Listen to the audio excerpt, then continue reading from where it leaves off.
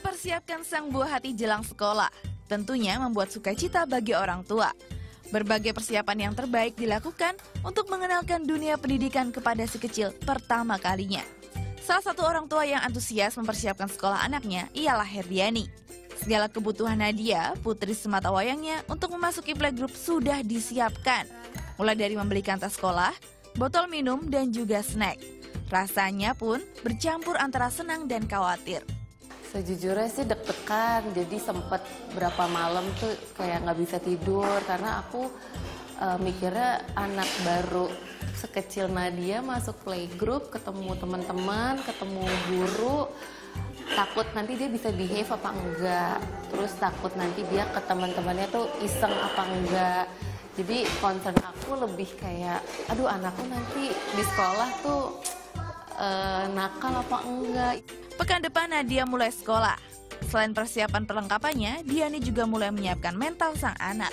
Sama paling uh, kalau ketemu orang, aku udah biasain dia tuh mau sharing, mau apa ya berbagi karena kan pasti di sekolah ujung-ujungnya kalau playgroup kan lebih ke main dan aku nggak pengen Nadia tuh nanti kaget terus nanti nangis jadi lebih ke mental anaknya sendiri sih. Perasaan campur aduk Diani berbanding terbalik dengan Nadia. Seneng gak Nadia masuk? Iya. Kenapa seneng? Iya soalnya aja kangen sama friendnya Nadia. Oh, kangen sama friendsnya Nadia? Iya. Tak hanya Diani, Astari juga tidak kalah semangat mempersiapkan jagoan kecilnya Vino untuk masuk ke sekolah dasar. Saking bersemangatnya untuk sekolah, Vino sudah mulai mencoba seragam barunya dan sudah siap dengan tas baru dan alat-alat tulisnya. Berbeda dengan Diani, Astari lebih mempersiapkan Vino untuk lebih menguasai keterampilan dasar di sekolah, salah satunya dengan membaca buku. Kebetulan di TK, uh, eh, Vino uh, sudah bisa untuk membaca tulis hitung, sehingga sewaktu masuk SD mungkin tidak terlalu kesulitan uh, untuk memasuk, masuk ke uh, SD yang setelah saya pilih tersebut.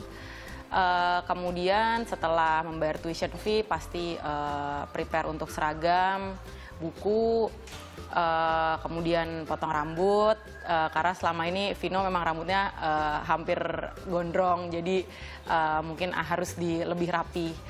Selain mempersiapkan secara teknis belajar, mengajarkan beradaptasi dengan lingkungan baru bisa dilakukan para orang tua dengan mengajak anak-anak mereka mengunjungi sekolah mereka di masa liburan ini. Anggi Pasaribu, Dipta Adiwiguna melaporkan untuk.